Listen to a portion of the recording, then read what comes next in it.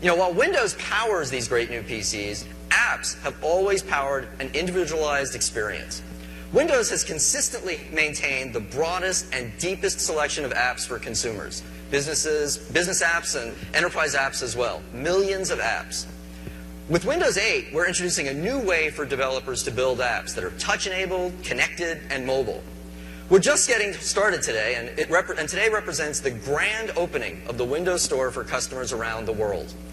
These new apps are built on a reimagined set of APIs, tools, and services for developer. And taken together, these deliver the simplest and fastest way to develop mobile, connected, fast, fluid, apps for Windows. We created this platform interface, be mobile, but at the same time make use of the productivity heritage of Windows by using peripherals like printers, audio, video, and input devices. Access to the vast ecosystem of Windows-compatible hardware is at your fingertips. The grand opening of the Windows Store represents a major new opportunity for developers. Since all new and upgraded Windows PCs can run Windows Store apps, the potential market for Windows is the large for apps is the largest of any platform.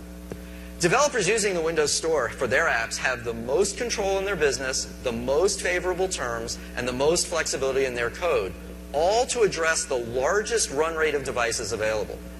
Now we know some might rush to start to count apps and look for their favorite app to arrive in the store. You know, and we see today as a grand opening and a very solid one. On the screen behind me, you can see some of the thousands of new apps that are available today around the world. Developers everywhere are adding hundreds of new apps every day, and that rate of addition is increasing as well. Similarly, thousands of new developers are joining the Windows Store ecosystem each and every week. And all this is happening in 231 markets in 109 languages around the world. At our grand opening, the Windows Store has more apps than any competing app store had at its opening.